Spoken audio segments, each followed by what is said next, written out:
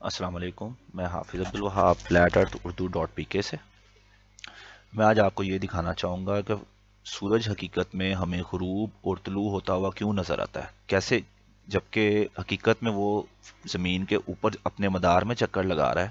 لیکن ہمیں ایسا کیوں نظر آتا ہے کہ وہ طلوع اور غروب ہو رہا ہے؟ گلوب میں یہ کلیم کیا جاتا ہے کہ سورج زمین چونکہ گول ہے تو اس کے نیچے سے ہمیں نکلتا ہوا نظر آتا ہے اور پھر دوبارہ زمین کے کرویچر کے پیچھے جاتا ہے تو ہمیں غروب ہوتا نظر آتا ہے، ایسا نہیں ہے۔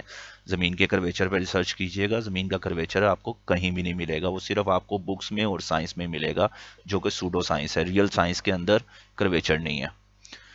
یہاں پہ میں آپ کو بتاتا چلوں، یہ ہمارا آبزرور ہے یعنی ہم ہیں جو زمین کے اوپر ہیں۔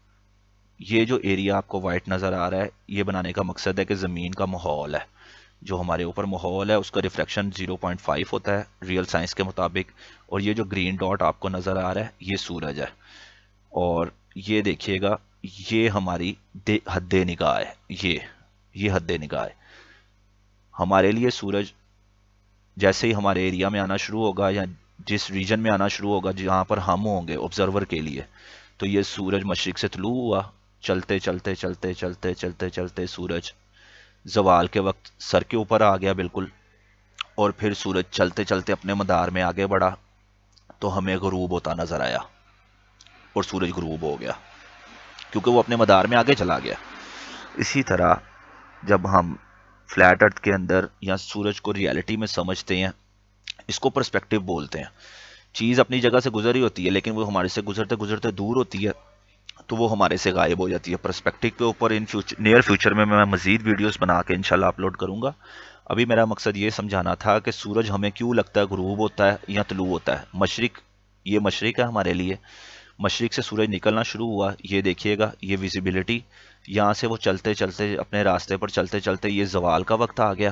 ہمیں، ہمارے سر کے بالکل اوپر آ گیا۔ اس لیے سورج کا جب بھی اینگل نکالا جاتا ہے کسی بھی ایریا کے لیٹیچیوڈ یا لانگیچیوڈ کا، تو وہ سورج کا زوال کے وقت کا ٹائم ہوتا ہے، پھر اس سے اینگل نکالا جاتا ہے اعلی سدس کی مدد سے۔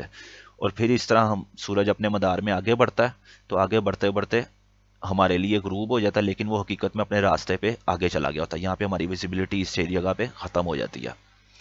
ایسے سورج ریالٹی میں کام کرتا ہے، ہمیں سورج طلوع اور غروب ہوتا ہوا نظر آتا ہے۔ یہ دیکھیے، ایسے۔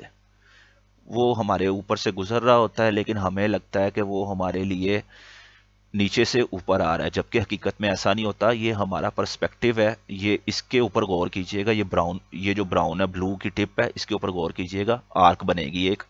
یہ دیکھیے گا، ایک کمان کی شکل لے گا۔ یہ دیکھیے۔ اس وجہ سے ہمیں سورج لگ، لگتا ہے کہ مشرق سے نکلا ہے اور مغرب سے غروب ہوا ہے، جبکہ وہ اپنے مدار میں چل رہا ہوتا ہے زمین کے اوپر۔ میں تھا حافظ عبدالوہاب۔ امید ہے یہ ویڈیو سے آپ کو فائدہ ہوگا۔ اپنا فیڈ بیک ضرور دیجیے گا اپنا خیال رکھیے گا۔ اللہ حافظ۔